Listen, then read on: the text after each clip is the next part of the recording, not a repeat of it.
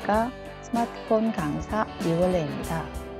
오늘은 화면에서 보이는, 보시는 것처럼 무인 결제 키오스크에 관해서 알아보도록 하겠습니다.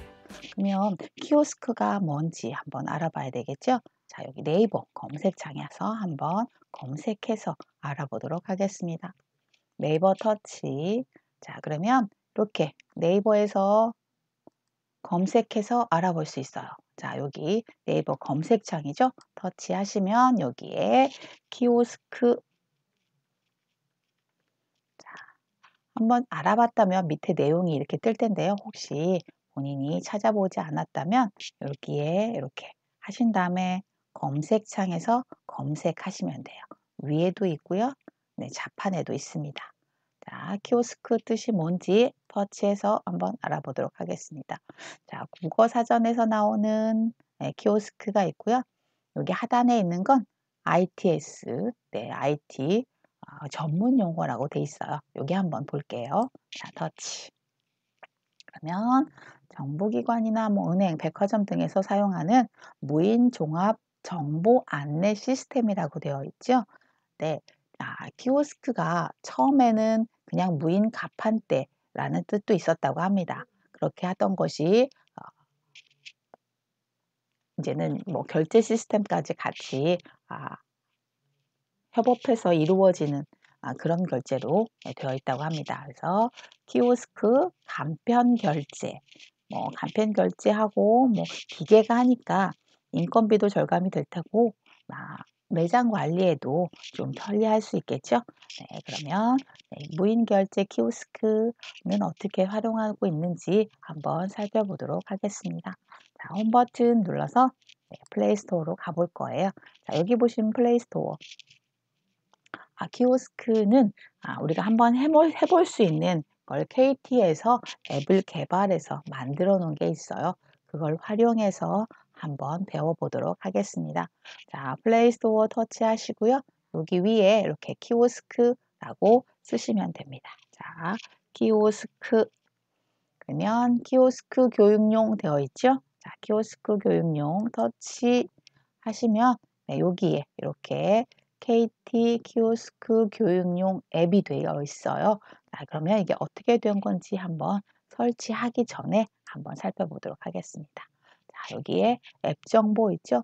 일단 설치를 하면 금방 되기 때문에 앱 우리가 앱을 설치하면 그 앱이 어떻게 활용하고 사용하는지를 미리 한번 살펴볼 수가 있습니다. 그래서 앱 정보 터치 그러면 KT 키오스크 교육용 앱은 KT IT 서포터즈는 어르신들의 원활한 키오스크 사용을 지원하기 위해 키오스크 교육용 앱을 개발하여 무상 제공하고 있다고 하네요. 그래서 디지털의 급속한 발전과 무인화로 인해 고령층이 특히 시니어들이 어려움을 느꼈던 패스트푸드, 그다음에 커피숍 같은 카페 주문, 기차 예매, 자 ATM, 무인 민원 발급, 병원 등 생활 속에서 키오스크 활용을 돕기 위해 KT 키오스크 교육용 애플리케이션을 개발해서 제공하고 있다고 합니다.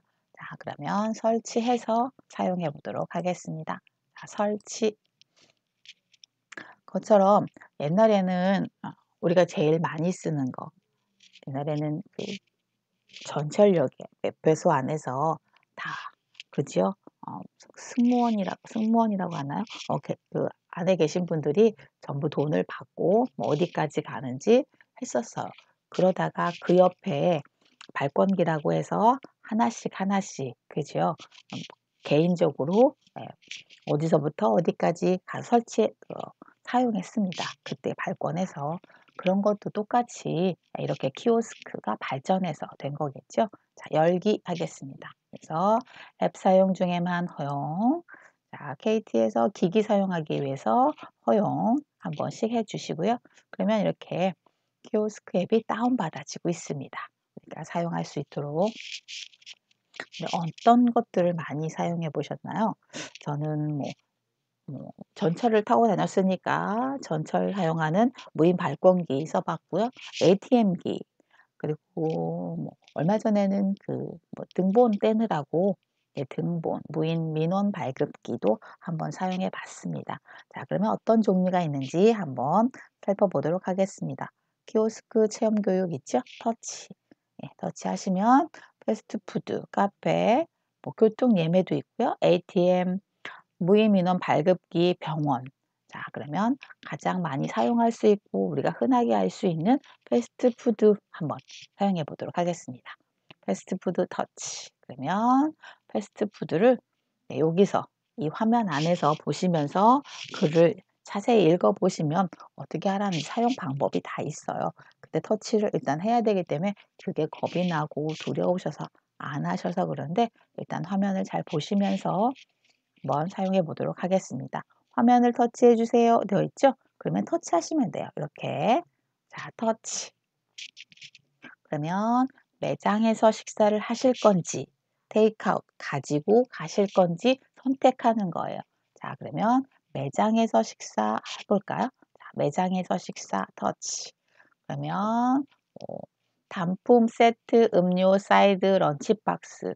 자, 지금은 패스트푸드가 햄버거를 파는 곳이에요. 근데 굳이 이렇게 패스트푸드점이 아니더라도 일반적인 뭐 제가 자주 가는 곳은 쌀국수 파는 곳이에요. 거기도 똑같아요. 이렇게 메뉴가 그 매장 안에서 파는 메뉴가 전부 다 나열되어 있어요. 그러면 그림이나 글씨를 보시면서 하나씩 선택하면 되겠죠. 자, 그러면 어, 단품은 하나만 선택한다는 거고 세트 메뉴는 뭐 이렇게 지금 그림처럼 세트로 가져간다는 얘기겠죠. 세트 한번 해볼까요? 세트도 지금은 두 개뿐이지만 더 많은 종류 그 매장 안에서 판매하는 세트는 다 나오겠죠. 자, 그래서 통새우 버거 세트 터치. 자, 왔어요. 그죠? 장바구니 추가는 하나 더 했을 경우 자, 하나 더 터치하시면 밑으로 내려오겠죠? 자, 터치. 두 개예요. 자, 두 개를 어떻게 해요? 장바구니에 추가. 자, 추가했어요. 그죠? 추가했더니 통새우 버거, 버거 이렇게. 그러면 다시 했는데 마음에 안 들어요. 그럼 돌아가기 이전 버튼이 있죠? 자, 이전. 갔어요. 그럼 다시 통새우 버거 하나와 더블 베이컨 버거 하나. 자, 여기는 지금 제가 단품에 하나만 한 거예요. 그랬더니 장 하나만 담겼어요. 장바구니 추가해 볼까요? 자, 단품이니까 조금 전에 했을 때는 세트 메뉴였으니까 이렇게 사이드 메뉴를 선택하라고 나오진 않았는데 우리가 지금은 다시 단품을 한번 해봤어요. 그랬더니 감자튀김을 따로 드실 건지, 그죠? 음료는 따로 뭘 먹을 건지, 이렇게. 그래서 결제하기를 터치를 하시면 지금, 그죠? 통새우 버거 하나와 감자튀김 하나, 오렌지 주스 하나, 이렇게. 그죠? 결제하기. 그러면 아, 처음에 나와 있었죠. 여기는 신용카드 전용이라고. 그래서 혹시 현금을 결제하실 경우는 카운터에서 하시면 됩니다. 자, 확인. 그러면 적립하실 포인트가 있으시면 카드를 넣어주세요. 되어 있죠? 네, 옛날에는 우리 많이 썼던 거는 종이에 도장을 찍어줘서 사용하기도 했는데 요즘은 플라스틱으로 해서 안에 어, 음, 그걸 사용해서 우리가 적립을 할 수가 있게 카드가 있어요. 그게 있으시다면 그 적립하는 곳에 그 카드를 넣어주시면 되고요. 없으시다면 확인 눌러서 네, 결제하기 카드를 그죠? 신용카드를 투입구 끝까지 넣어달래요. 그러면 결제가 되면서 뭐 주문 번호 보이시나요? 네, 그 주문 번호를 종이에 인쇄돼서 나오면 가지고 있다가 카운터 위에 보시면 대부분 이렇게 번호가 쓰여 있어요. 그러면 띵동 소리와 함께 번호가 있겠죠? 그러면 본인이 뽑은 번호랑 거기 카운터에서 나온 번호가 맞다면 가져가서 가지고 오시면 됩니다. 어때요? 뭐 말로 할 때는 제가 지금 뭐 간단한 거 보면서 말로 하니까 쉬워 보이는 쉬워 보이죠? 똑같아요. 매장에 가도 매장에 이제 메뉴가 좀 많고 선택하는 버튼이 익숙하지 않아서 그런데 천천히 읽어보시고 젊은 사람들이 쉽게 하는 이유는 많이 사용해 봤고 내가 가는 곳의 메뉴를 알고 있기 때문에 고르기가 쉬운 거예요. 근데 시니어분들 저랑 저와 같은 게 시니어분들은 그 매장을 잘 이용하지 않았고 그 매장에서 파는 물건들이 뭐가 있는지 모르기 때문에 시간이 좀 걸려서 그렇지 천천히 천천히 해보시면 그렇게 어려운 부분은 없을 것 같습니다. 자 그러면 다시 가서 위에 홈 버튼, 홈 버튼이 있네요. 그죠? 눌러서 홈으로 갔어요. 가신 다음에 지금은 패스트푸드나 카페는 비슷한 내용일 테니까 자, 여기 ATM기도 한 번씩 사용해 보실 테고요. 자, 그럼 교통카드. 우리가 지금 얼마 전에 명절을 보냈는데 혹시 내가 명절이나 아니면 휴가를 가기 위해서 교통카드 예매를 교통카드 예매를 하시기 위해서는 네, 여기 연습을 한번 해보는 거예요. 그래서 교통 예매 터치 그러면 화면을 터치하세요. 기차 예매 체험하기 되어 있죠. 어, 기본 어, 진짜로 사용하는 그런 곳에는 이렇게는 나와 있지 않겠지만 화면 안에 내가 어디를 터치해야 되고 어디에다 카드를 넣어야 되고 아니면 카드 번호를 어디다 써야 되는 건지 다 되어 있습니다. 자, 그러면 화면 터치 그죠? 자, 터치. 자, 그러면 출발 도착 되어 있죠? 자, 그러면 출발을 할 거예요. 그러면 출발 터치. 그러면 이렇게 어디서 출발하는지 내가 사는 곳에서 가까운 곳에 여기 어떤 것이 있는지 살펴보신 다음에 선택하시는 거예요. 저는 용산역이 좀 가까워서 용산 터치해 볼게요. 용산. 자, 출발지에 용산으로 바뀌었어요. 자, 그러면 한 단계가 끝나면 확인을 눌러줘야 돼요. 그래서 확인.